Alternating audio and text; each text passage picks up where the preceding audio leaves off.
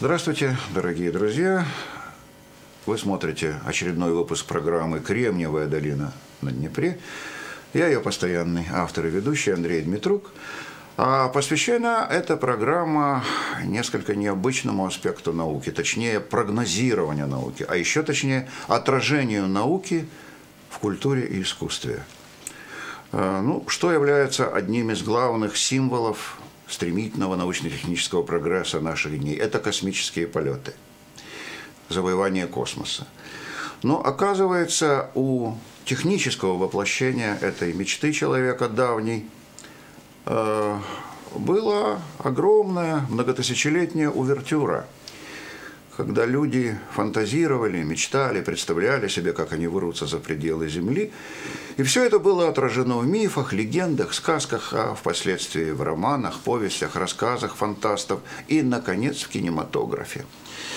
И обо всем этом, хотя, конечно, кратко, ибо это громадная история, мы сегодня поговорим с нашим гостем. Хочу вам его представить. Евгений Леонардович Гороховский, кандидат исторических наук и специалист как раз в той теме, которую мы сейчас заявили.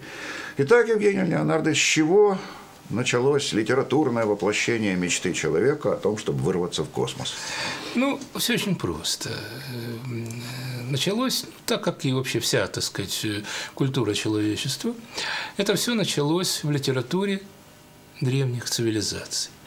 Отчасти восточной, поскольку там в древневосточной литературе, в эпосе Гильгамеша в частности, речь идет там о неких полетах на птицах, на громадных птицах человека, соответственно, масштабы можно себе представить, но улетали ли они за пределы Земли, того никто не знает. Из текста этого не, это, это не, не, как говорится, не, не выплывая по-украински.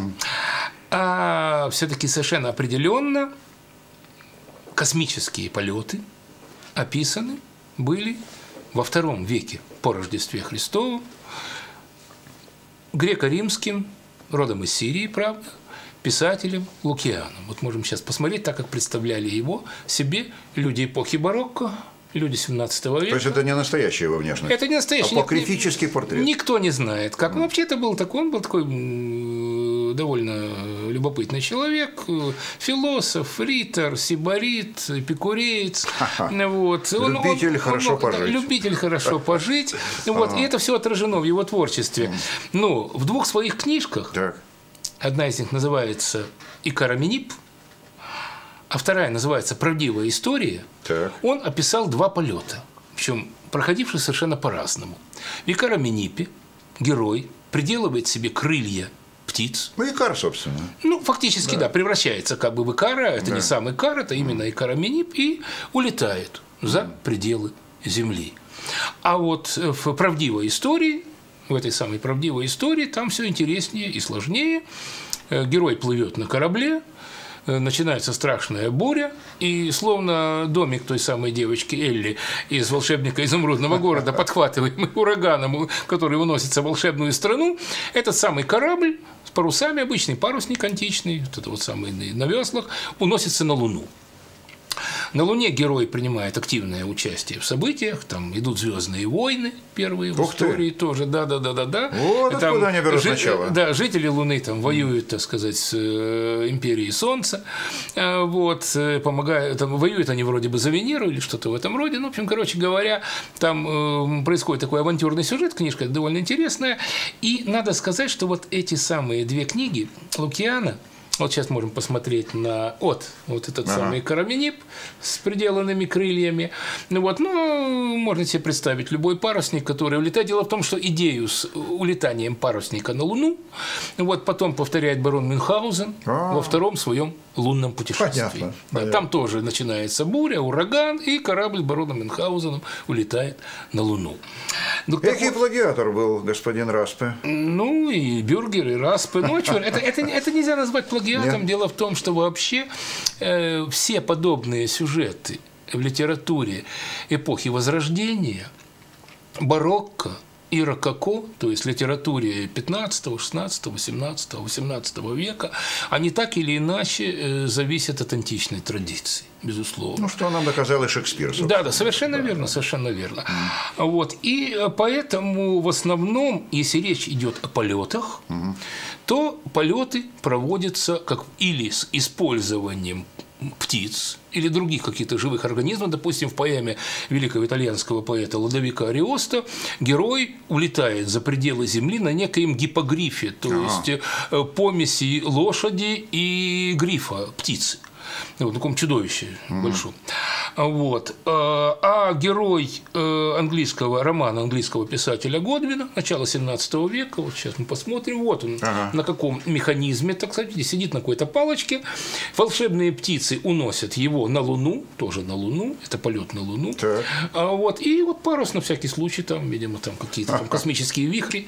Для использования космических течений. Да, для использования космических течений.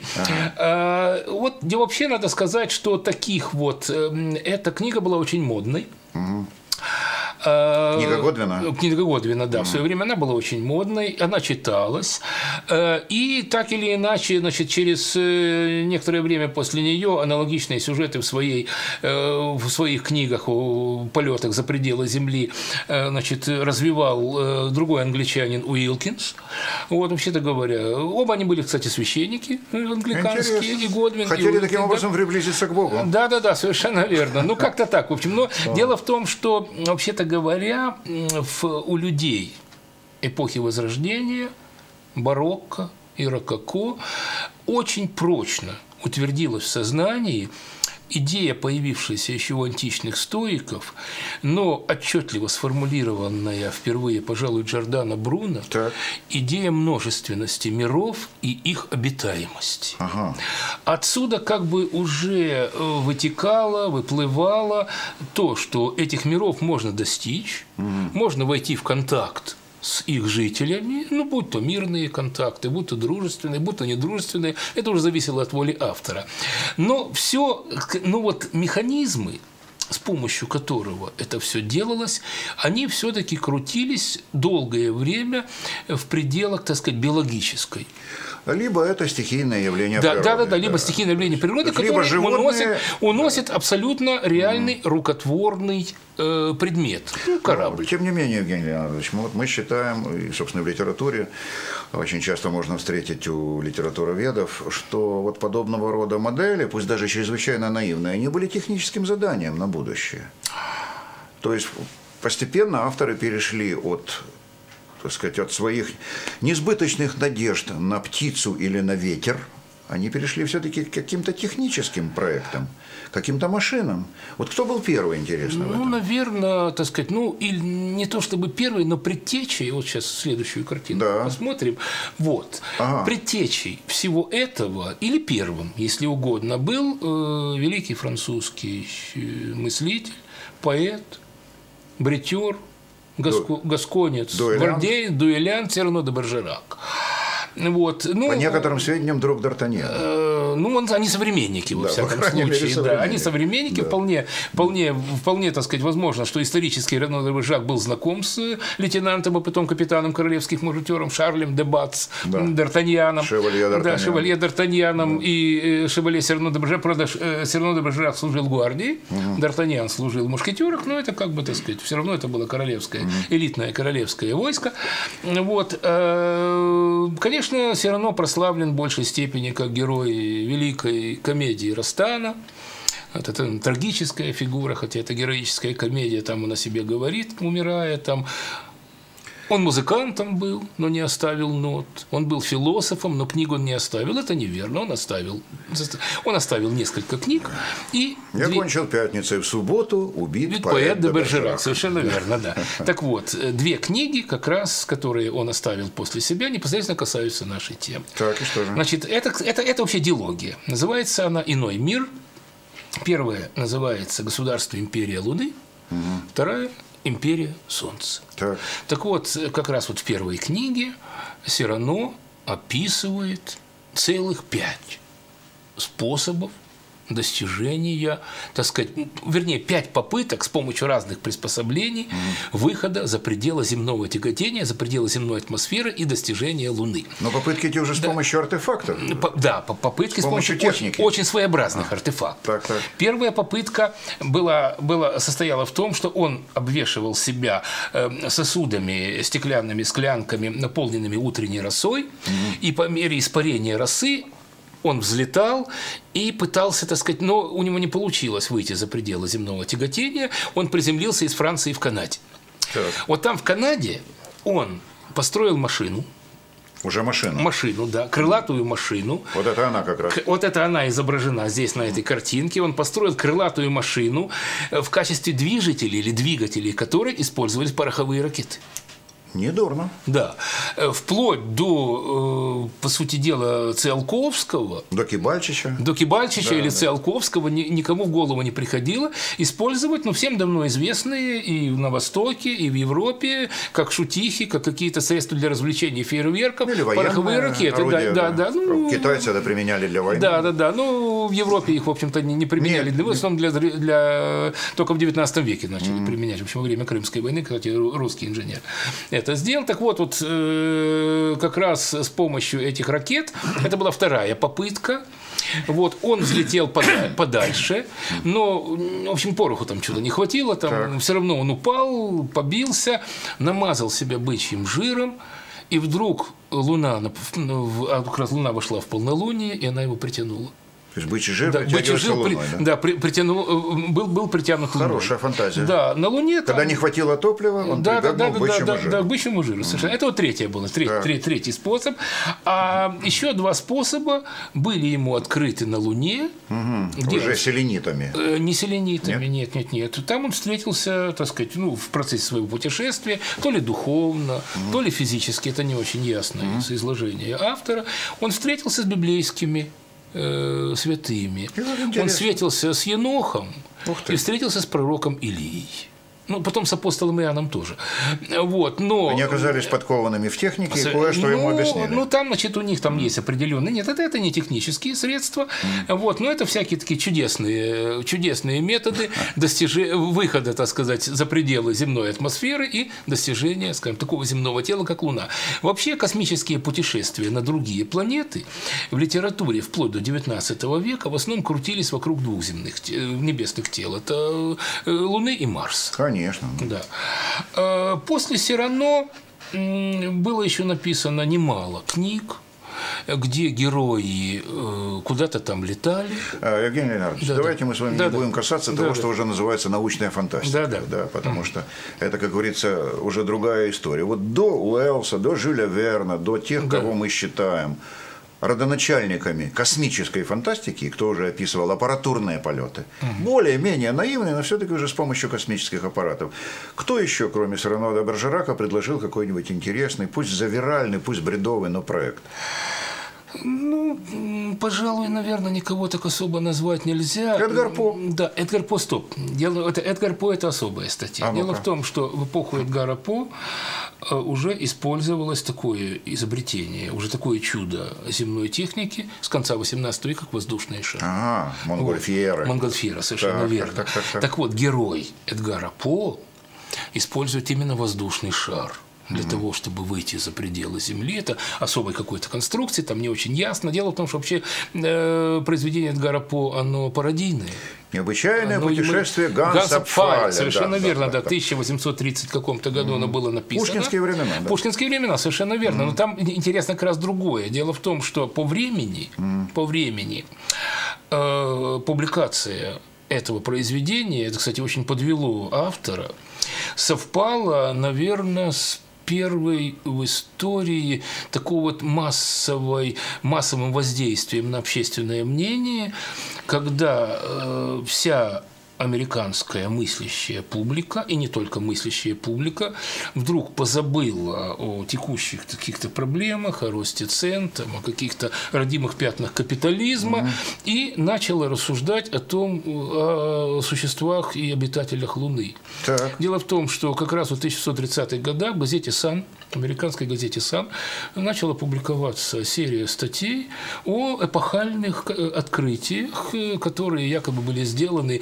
великим английским астрономом Гершелем, который, конечно, ни сном, ни духом об этом не ведал, э, вот, о том, что на Луне... Пресса верна себе, да? Есть цивилизация, да. Было, опубликовано было шесть статей, причем тиражи этой газеты взлетели до совершенно космических ну, масштабов. Чего же это и было Совершенно верно, да. Так вот, Луна, согласно этой афере, согласно этой вот мистификации, mm. была населена некими мышелюдьми.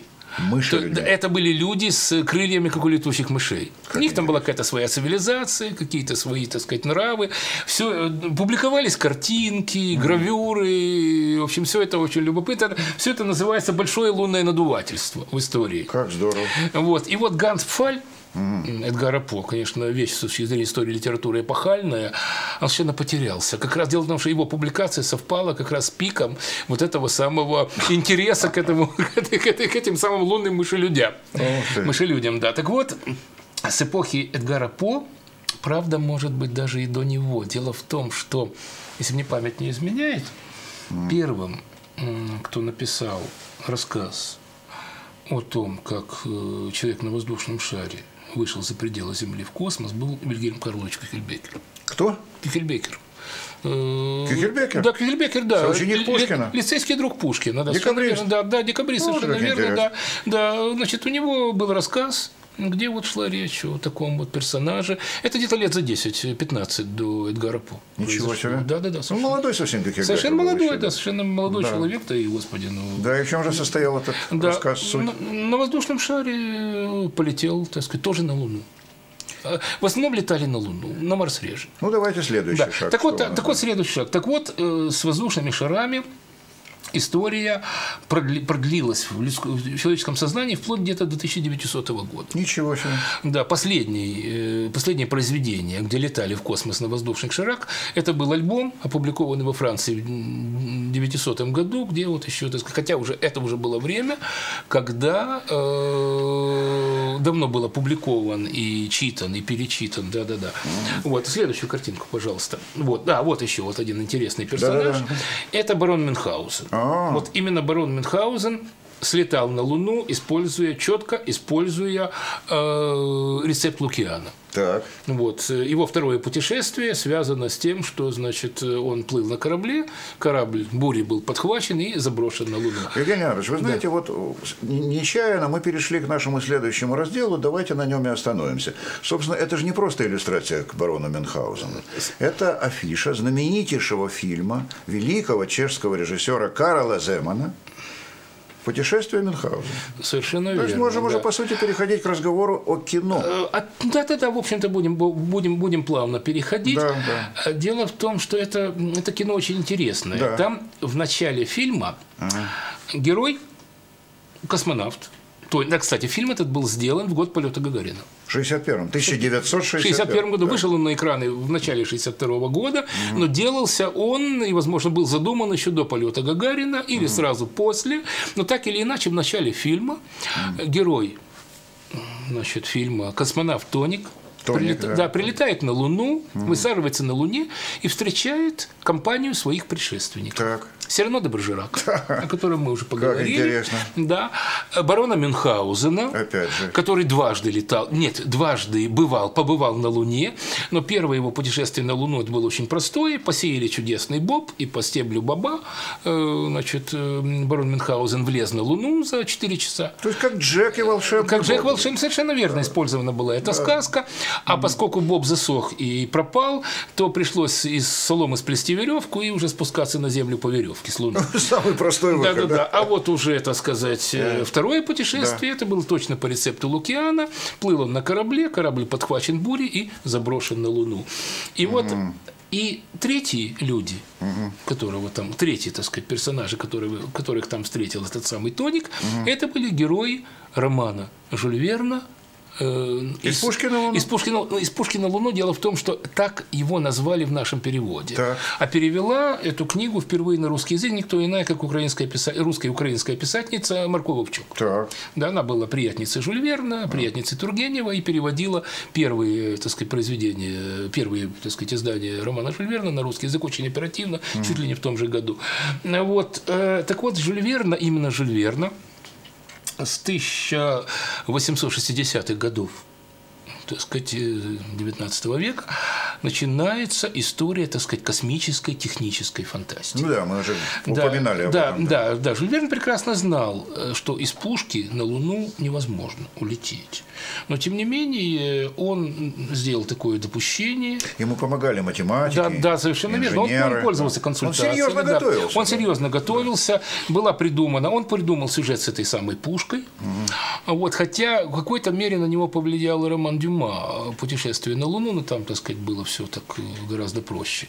Вот. То ну, есть, Дюма, насколько да, я помню, там больше юмора, чем да, фантастики. Да, да, да, да, это такое, значит, да. такое. Ну, так или иначе, это как бы идея. Это такая мини да. Совершенно верно, совершенно верно. Да. Вот. А вот уже у Жюль Верна с присущей ему скрупулезностью, mm. с присущей ему, значит, точностью изложения описана была эта самая пушка, отлитая в яме.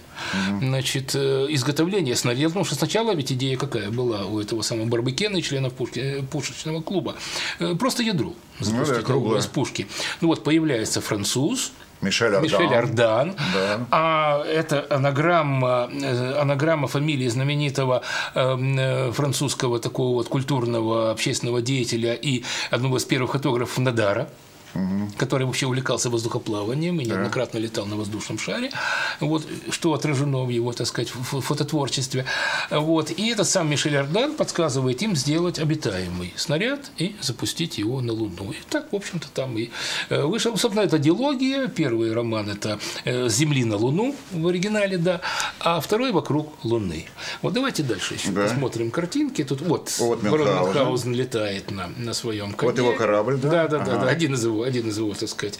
Э, дальше, дальше, дальше, давайте. Вот. А, и вот, а, вот, да, вот то, что то мы, то, о чем, так сказать, мы и будем говорить. К вопросу том, что, из пушки на Луну. Да, к вопросу, к вопросу о том, как из пушки летать на Луну. Да. Ну, роман Жюль Верна вышел, он читался. Кстати, как он назывался изначально? Изначально он назывался так. Он назывался «С Земли на Луну за столько-то там дней, дней часов, там, и минут. Ну, такое, да, ага. по-французски, да.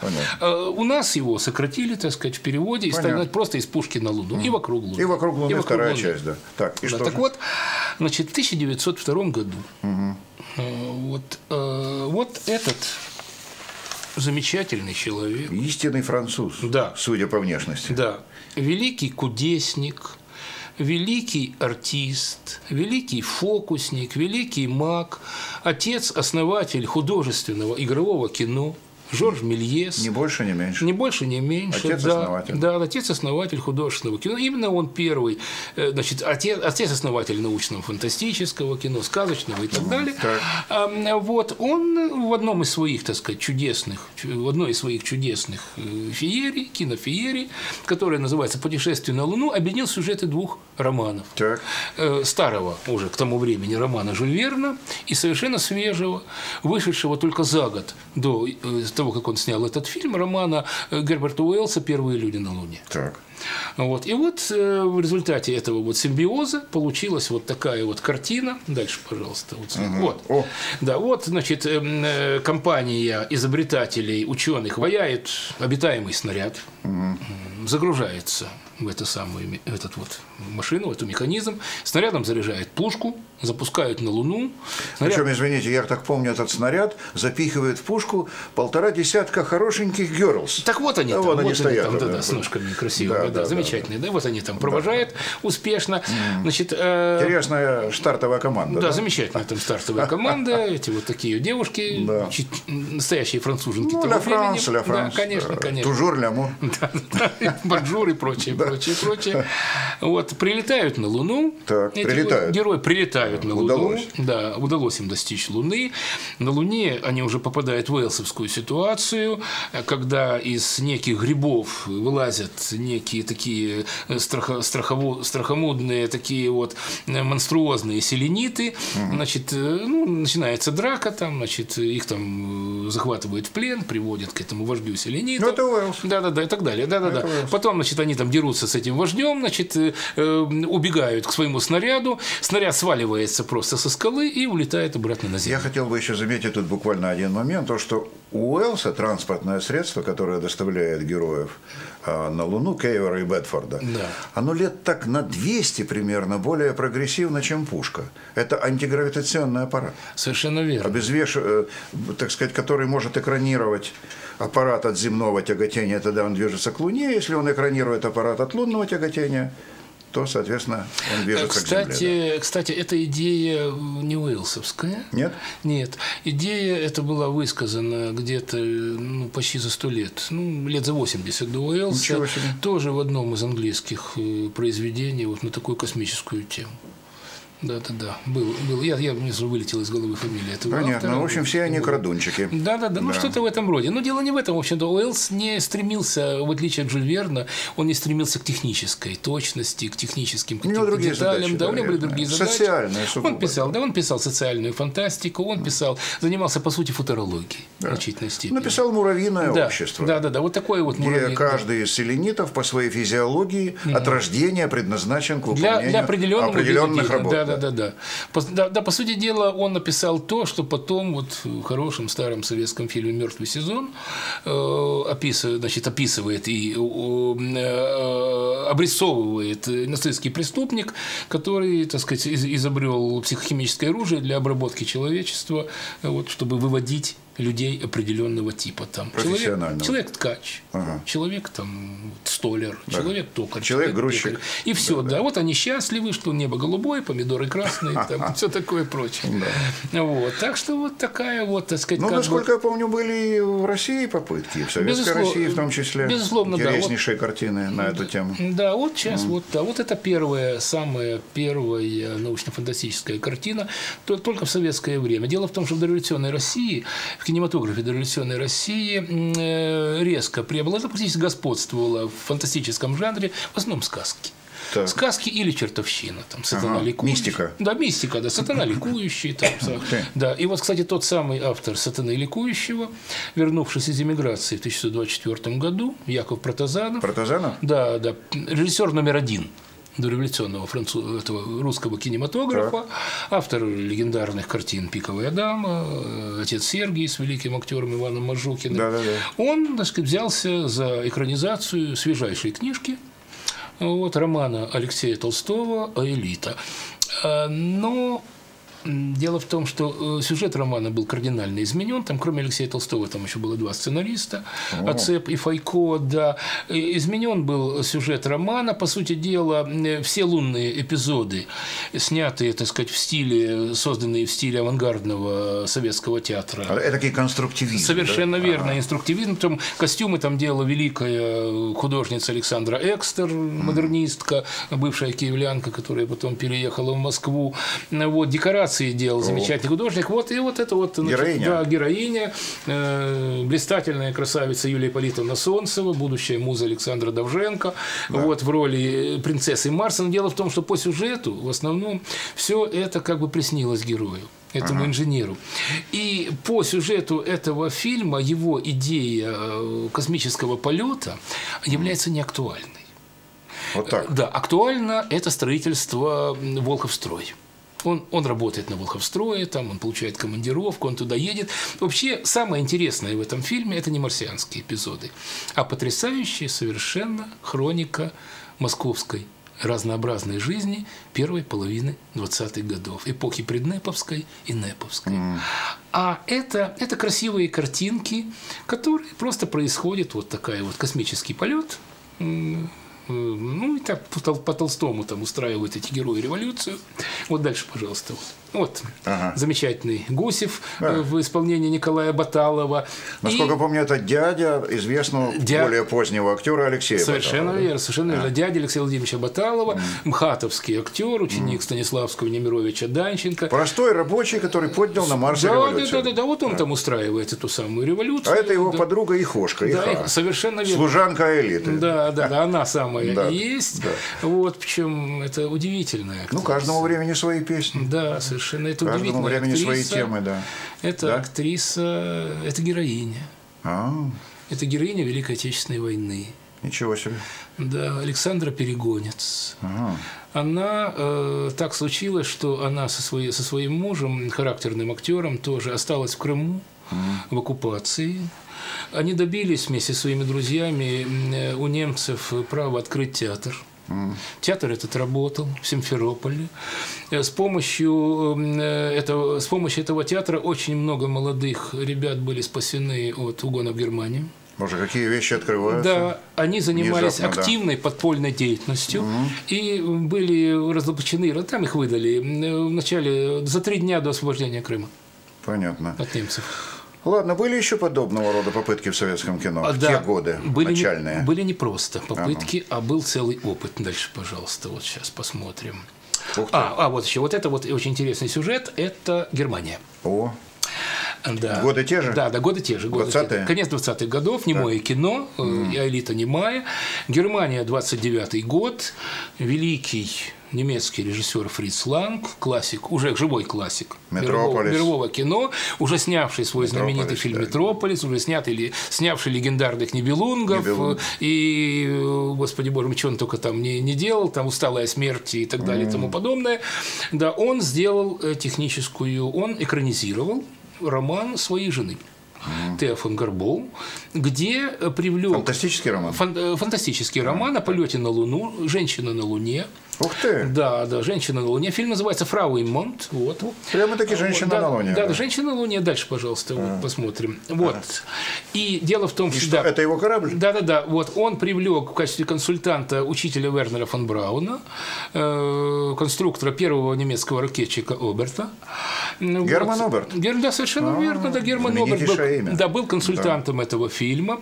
Вернер фон Браун работал на подхвате в павильоне рабочим, совсем молодым человеком. Вот на этих Будущий съемках. конструктор ракет Будущий Фау-2. конструктор ракет, совершенно верно. Фау-1, элитные Фау-2, крылатые да. ракеты, и Фау-2. Так вот, был сооружен старт почти такой, как вот потом уже на космодромах это все происходило. То есть Вот это было предвестие Вот он, да, как бы настоящих совершенно стартовых верно. Вот, да, да, вот это вот, вот это вот э, эпизод, когда ракету вывозят из ангара в вертикальном положении. И, и там еще предвосхищено еще очень целый ряд очень любопытных вещей. Ракета, ее потом опускают в шахту с водой, Бог и она мой. стартует из шахты. И именно Фриц Ланг со своей, ну, очевидно, он сам или сценаристка его, или они вместе, изобрели обратный счет Как потрясающе. при э, запуске ракеты. Вот они там считают там 60 секунд, 30 59. секунд, 30 секунд, А. 20, 10, а потом 4, 3, 2, 1, старт. Вот Поехали. именно там, в этом фильме 29 года «Женщина на Луне» и появилась. Ну, ну, значит, э, там уже воспроизведены эпизоды с перегрузками, с невесомостью. Вот, все это было уже известно. Вот. Дело в том, что Оберт переписывался с Циолковским. Вот как. Да, труды Циолковского. И эта переписка известна, она опубликована. Да, э, Ксен Эдуардович э, был в курсе э, работ своего немецкого коллеги. Маленько советовал? Да, да, да, да, да, что, что-то там советовал. Ну вот мы там уже, так сказать, на, на Луне там уже чисто, так сказать, фантастическая история, там э, атмосфера, оказывается, пригодная для жизни. Там, Ну, естественно. Да, сумасшедший профессор находит золото и так далее. Ну, женщина должна быть красивой, она же не может ходить в Да, скафандре. Да, а корабль называется Фрида. Фрида. Фрида, Фрида. И героиню тоже зовут Фрида. Ну, понятно. Вот дальше, пожалуйста. Вот. Да. Ух ты. А вот это уже Целковский. Так, в качестве В консультанта. качестве консультантов, да. 35-й год. Замечательный советский фильм э, режиссера Владимира Журавлева «Космический рейс». Для него были созданы, спроектированы Циолковским два ракетоплана. Так. 30 чертежей было изготовлено. Сколько? 30 чертежей Ого. было эскизов. Было сделано Так. самим Циолковским. По этим чертежам были сделаны модели великим художником Юрием Швецом, Так. который одновременно работал над знаменитой картиной «Новый Гулливер», два ракетоплана. А масштаб какой был, не помните? Масштаб был, ну, масштаб был оптимальный, масштаб был приблизительно... Ну, не натура, да, не не натура, нет, нет, конечно, не один к одному, но снималось это так, вот, М, вот понятно. кадр там, значит, э, Иосиф Сталин, ракетоплан первый, Клим Ворошилов, ракетоплан второй. Понятно. Ну вот, значит, э, взлетают, значит, они стартуют на Луну, достигают Луны, есть невесом, перегрузки, есть невесомость, причем перегрузки они переносят в камерах, залитых водой, Я прошу прощения, Да-да. Евгений Леонардович, Леонардович. Насколько я понимаю, это был фильм уже больше познавательный, чем развлекательный. То есть и то, что вы рассказываете, там огромный элемент науки. М, Конечно, конечно. общем-то, это, был в определенной степени научно-популярный фильм. Это был и научно-популярный фильм, и вместе с тем сюжетный, потому А, что там, там космический заяц. Ага. Да. Его находит, Вот. наверное, профессор. Да, да, да, да, да, да, да. То, есть, ну, мальчишку там, то есть, то есть он как бы, так сказать, он там, э, профессор берет этого мальчишку с собой. Ну, настоящий космический заяц это в немецком фильме, там мальчишка просто У прячется. Фрица Ланга? У Фрица Ланга, да, мальчишка прячется. Он, он, он был помешан на комиксах про Ника Картера в космосе и спрятался внутри этого корабля, его потом разоблачили, он там потом активную роль, он там потом, значит, этот корабль э, на Землю возвращает. Вот, так вот, здесь есть э, скептики, Да, собственно, извините, это же уже была к тому времени издана серия романов э, Эдварда Райса Берроуза о Картере. А, Так э, романы о Картере начали уходить еще на рубеже 19-20 века. Верно. Ну, это, это чистое, фэ- это, это чисто, Чистое. Но полеты фэ- на Марс. Да, полеты на Марс, но это все-таки фэнтези. Да, потому Это- что он да. туда переносится буквально усилием Да, мысли. да, да, вот да. он был на Земле и вдруг Да. обнаружил себя на Да, Марсе. да. Это, это, это, это, это чистые фэнтези. Все-таки герои Алексея Толстого э, другое взлетали, взлетали на ракете. Так вот, что интересно, что раке- ракетопланы Циолковского, Да. они стартовали не так, как ракета в фильме Фрица Ланга. Так. Они стартовали, стартовали, стартовали с направляющих эстакад. По сути дела, этим предвосхищались будущие «Катюши». Ясно. Реактивные Да, минометы. реактивные минометы, да. Ну вот, и в какой-то мере, в общем-то, это тоже, это была одна из идей, которые, ну, которые породили реактивную всякую авиацию, вот, возможности. Э, Циолковский считал, что, э, значит, можно использовать вот такую технику. Вот, ну, для космических полетов она потом не использовалась, хотя разработки такие были. Как назывался этот фильм? Космический рейс. Космический рейс. Космический рейс, да. Ну что, давайте пойдем дальше. Да, поехали дальше. Ну и вот дело в том, что после космического, да, вот после космического рейса его ремейк, фактически ремейк, там, хотя с определенными сюжетными нюансами, был э, через два года сделан в гитлеровской Германии. Так. Да, это называлось, э, фильм как назывался «Ракетоплан номер один» или «Полет на ракетоплане номер один». Все было содрано, вся, тех- вся технология была содрана с Да, нашего только это фильма. был бесстрашный космонавт фюрера. Э, Да, да, да, да, да, да. Там да? команда была. Там Да, была команда была, но, но ракетоплан был очень похож на советский. И стартовал он тоже с направляющей эстакады. То есть на свое ума не хватило. Совершенно верно, да. говоря. И это был, кстати, шаг назад по отношению к э, фильму Ланга, который к этому времени уже эмигрировал, осудил фашизм. И, в общем-то, Он в Штаты, по-моему, Он в. Штаты эмигрировал, да, он там достаточно успешно А это работал. что? да. А это, а это, это уже другое. Дело в том, что э, в, Амери... ну, значит, в немецком, вот, в конце 30-х годов, в американском кино 50-х годов в основном перепевались сюжеты более раннего времени. Вот, скажем, еще одним своеобразным ремейком в техническом отношении того же космического рейса был американский фильм 50-го года «Ракетный крейсер», там номер XM как-то он там назывался. Там тоже эстакады, там тоже вот такой вот взлет, так же, как, э, как, как в космическом рейсе.